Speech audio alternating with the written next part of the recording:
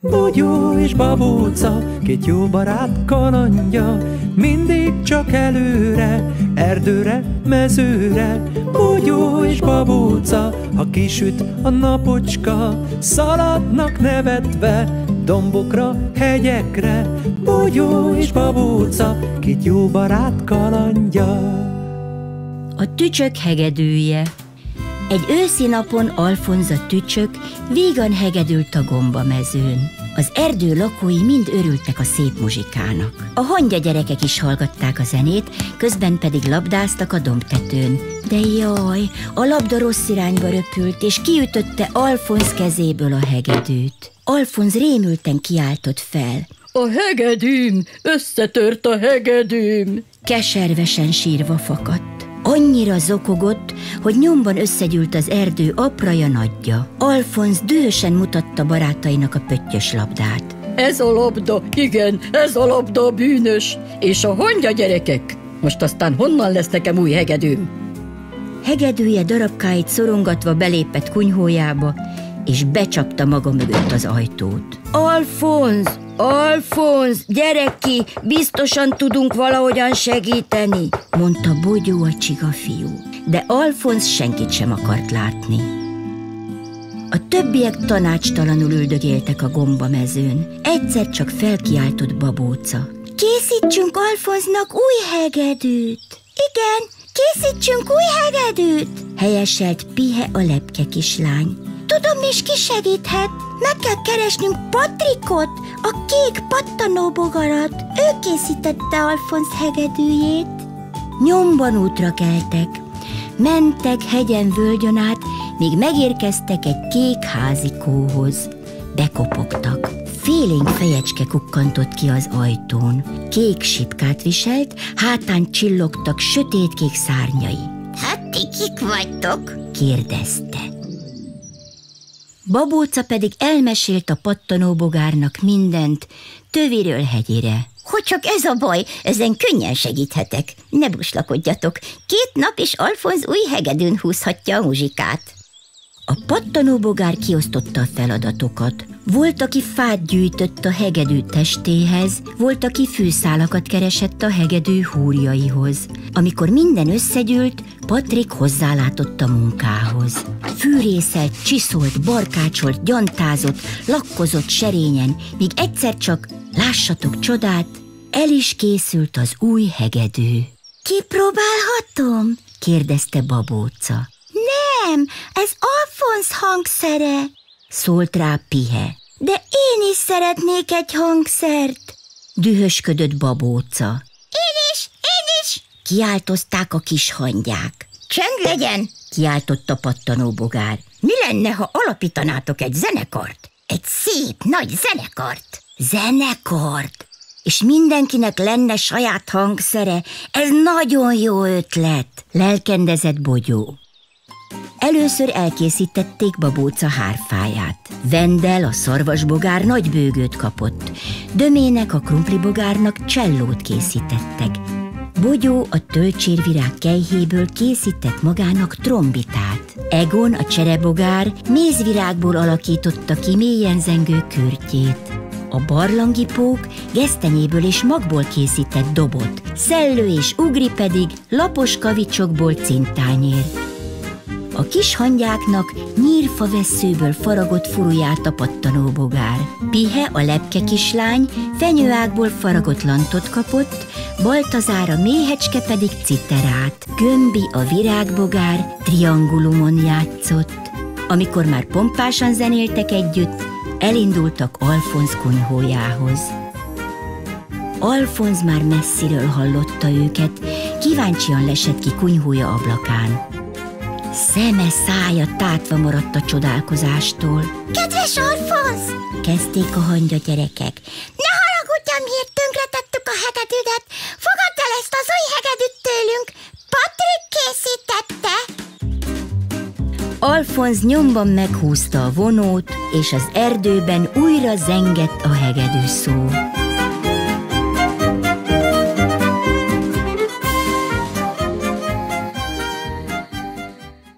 Bogyó és babóca, két jó barát kalandja. Áfonya szedés Egy őszi napon Bogyó és Babóca áfonyát szedni indultak az erdőbe. Velük tartott Pihe, a lepke kislány, és Döme, a krumplibogár is. Én fogom a legtöbb áfonyát szedni, kiáltott izgatottan Döme. Nézzétek, az a bokor tele van érett áfonyával, szólt a csiga fiú. Leszedem, de Döme megelőzte. Odaugrott gyorsan a bokorhoz, és lekapkodta róla a legszebb gyümölcsöket.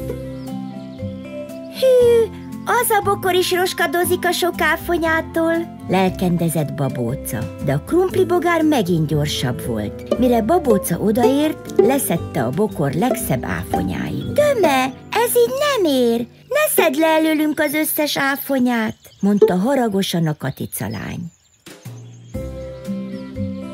Nem sokára egy patak állta útjukat. Hidat kell rá építenünk, mondta Pihe. Már tudom is hogyan. Gyertek, hozzuk ide azt a kidőlt fatörzset.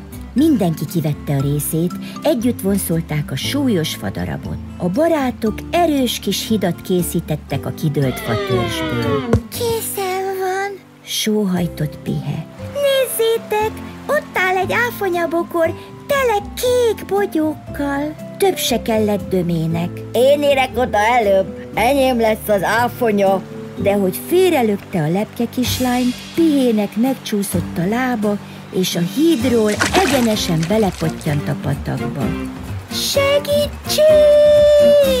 Jaj, Pihe, kapd el a kezem! mondta riadtan babóca, de Pihét egyre tovább sodorta a patak, és nem érte el a katicalány kezét. Bogyó egy hosszú botot hozott. Kapd el a botot, Pihe! kiáltotta. De ez a terv sem sikerült. A lepkelányt túl gyorsan vitte magával a víz. Döme, segíts!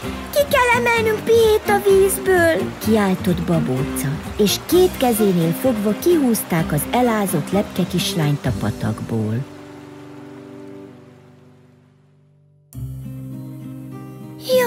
Nagyon fázom, nagyon fázom, és elázott a szárnyacskám is. Didergett Pihe. Neked adom a pulóverem, én vagyok mindenért a hibás, ne haragudj, Pihe, mondta Döme. Ez kedves dolog, szólt Döméhez babóca. De megfázolt pulóver nélkül inkább szedjünk Pihének nagy leveleket és takarjuk be.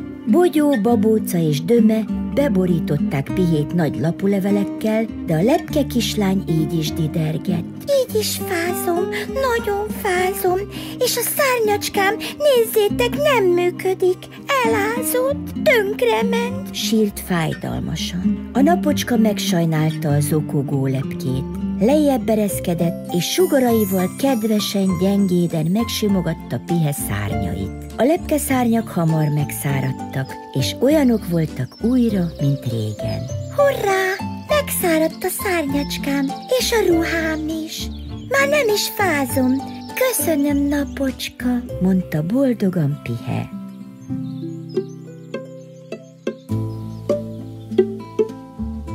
Ne haragudj, Pihe, mondta ekkor Döme. Máskor nem szedem le előletek az áfonyákat, és neked adom azt is, amit én gyűjtöttem. Köszönöm, Döme, de az áfonya legyen közös, mosolygott Pihe.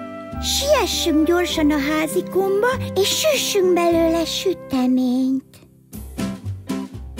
Nem sokára meg is érkeztek Pihe házához, és munkához láttak. Megmosták az áfonyát, és leszedegették a levelét. Járt a fakanál, csörögtek az edények, finom illat töltötte be a konyhát. Délutára el is készült a finom áfonyás sütemény. Meghívták a lakomára Vendelt, a szarvasbogarat, Baltazárt, a méhecskét, és Gömbit, a kis virágbogarat is. Mind körbeülték az asztalt, falatoztak és beszélgettek. Bogyó és babóca, két jó barát kalandja. A hímes tojások Elérkezett a húsvét. Pihe a lepkelány, Lili a rózsabogár, Ugri a szöcskelány és Szellő a szitakötő összegyűltek babóca házában, hogy húsvéti tojásokat fessenek. Hány tojást kell festenünk? kérdezte Lili. Lassuk csak, Bogyó biztosan eljön holnap locsolkodni, de jönni fog Baltazár, Vendel és Döme is, és persze Gömbi, Alfonz és Csiga Csaba. Akkor hét tojást kell festenünk. Lássunk munkához!